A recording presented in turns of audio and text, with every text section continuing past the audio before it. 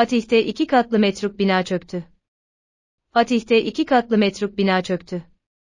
Olay yerine çok sayıda ekip sevk edildi. Anlık gelişmeler için lütfen abone olun. Express Haber sundu.